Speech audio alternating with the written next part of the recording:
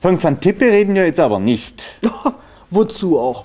Sie war ja nur seine Ehefrau, seine Ratgeberin, seine Muse, seine Ideengeberin vermutlich auch. Das ist Theorie. Damals im alten Athen waren die Frauen den Männern nämlich untertan. Gabelstaplerprinzip. Wie bitte? Naja, vorne auf den Kufen wird Papa hochgehoben und hinten an den Schaltknöpfen reguliert Mama. Okay, vielleicht aber Tatsache ist, dass nur von Sokrates selbst Schriften überliefert sind. Nicht einmal von ihm. Zugegeben, nur seine Reden und Gespräche sind aufgezeichnet worden. Ebenfalls zugegeben, seine Gespräche waren brillant.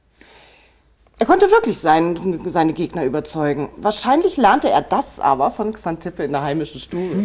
Wie auch immer, am berühmtesten ist wohl seine Verteidigungsrede. Sokrates war halsstarrig. Hätte er auf Xantippe gehört, wäre er gar nicht erst zum Tode verurteilt worden.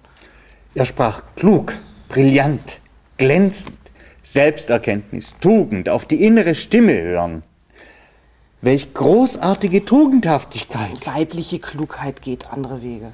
Dummköpfe in der Athener Volksversammlung, allesamt Dummköpfe, haben seine Rede nicht verstanden. Die wollten doch bloß, dass er nach 70 Jahren endlich aufhört, seine Philosophie zu verbreiten. Sich das Wort verbieten lassen, das ziemt sich nicht für einen großen Philosophen.